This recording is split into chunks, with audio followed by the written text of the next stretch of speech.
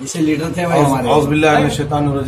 الرحمن الرحیم السلام علیکم نمستے شکریہ کال تمام میرے ہندو بھائیوں کو اور مسلمان بھائیوں کو تمام لوگوں کو دل کی گہرائیوں سے آج میں تمام لوگوں کو اپیل کرتا ہوں کہ آپ آج وقت ہے کہ حیدرآباد کے اندر ہم کو گنگا جمنا تہذیب قائم رکھنا ہے، تو واقع عالمیہ تعداد المسلم میں رہ کر ملیتاد المسلم میں رہ کر ہم بتا دیں گے۔ تو یقیناً ہم ہندو مسلمان سکھ عیسائی، یہ ایک چندران گٹے کے جو ہے، ایک گھر کے سر کے، ایک فیملی کے سر کے ہم۔ ایک فیملی میں رہیں گے۔ اگر کوئی بھی میرے تیلگو بھائی کو، ہندو بھائی کو تکلیف ہوئی تو مجھ کو تکلیف محسوس ہوں گی اور میں کو تکلیف ہوئی تو اس کو تکلیف محسوس ہوں گی۔ آج میں کانگریس پارٹی میں دو سال سے کام کرنے کے باوجود آج مجھ کو یقین ہو گیا کہ صرف پیسے کا کھیل ہے اور میں غریب آدمی، محنت کے شدمی میں لوگوں کے گھرے گھر پھر کر کانگریس پارٹی کے لیے کچھ محنت کرنا چاہ رہا تھا، لیکن وہ لوگوں کو سمجھ میں نہیں آیا۔ اللہ کرے اچھا ہوا، بہت اللہ تعالیٰ جو ہے، بہت وقت سے پہلے میری آنکھ کھول دیا باویس سال میری زندگی کے وقت لگے۔ ہم کافی لوگ بارکس کے میرے ساتھی جو ہے، افضل بھائی ہے، عمر بھائی ہے ابود بام ہے، نواز ہے، ہم تمام بابا نگر کے، چندان گٹے کے اور لال دروازے کے، اپو گوڑے کے اور لیفٹ کارڈرس کے تمام میرے دوست، روی، تلک سدو بہت دوست ہے اتنے نام ہے اگر میں آپ کو بتاؤں گا تو میرے تین مہینے کے اندر الحمدللہ تین ساڑھے تین ہزار ینگ بچوں کو میں نے جمع کیا تھا۔ کانگریس پارٹی کو کچھ کام کریں گے۔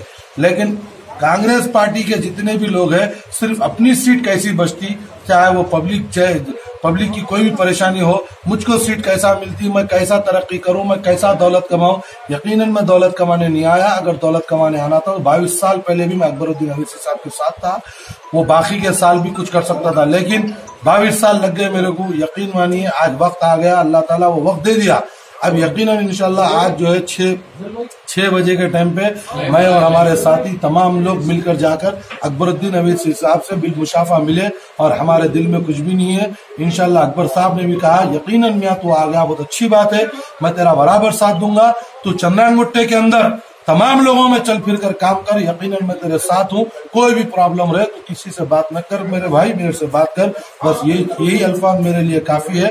یقیناً اکبر بھائی، انشاءاللہ ہماری تمام ٹیم جو ایک پارٹی کے لیے کام کر رہی تھی، اب یقیناً آپ کے لیے کام کریں گے اور بتا دیں گے کہ ہم، ہمارے بستی میں کوئی بھی کمیونٹی میں اگر کوئی بھی ذرہ برابر بھی، کوئی بھی آدمی، کوئی بھی پارٹی سے وابستہ رہنے دو، کوئی بھی آدمی کسی سے بھی اعلیٰ قائدین سے وابستہ رکھنے دو، غریب کے اوپر، کوئی ہندو، مسلم، کسی کے اوپر اگر ظلم ہوں گا، تو یاد رکھیے آپ، میں حافظ عبد الستار ابود بام، نواز، یہ ہماری ٹیم ایسا اتر کر ان کا مقابلہ کریں گے اور ظالموں کا ظلم ختم کریں گے اور مظلوم کا ساتھ دیں گے۔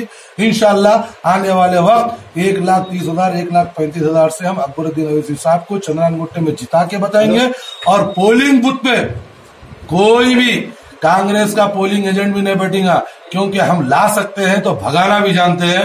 یہ حافظ عبد الستار ہے آنے والے وقت بتا دیں گے۔